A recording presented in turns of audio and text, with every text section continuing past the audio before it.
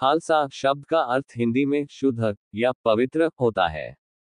खालसा की स्थापना गुरु गोविंद सिंह जी ने 1699 में बैसाखी के दिन की थी।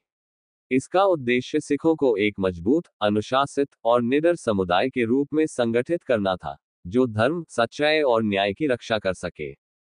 खालसा बनने के लिए गुरु गोविंद सिंह जी ने पाँच प्यारों, पंच प्यारे को अमृत छकाया और उन्हें सिख धर्म के पाँच के केश, कंघा, कड़ा, कच्छा और किरपान धारण करने का आदेश दिया। खालसा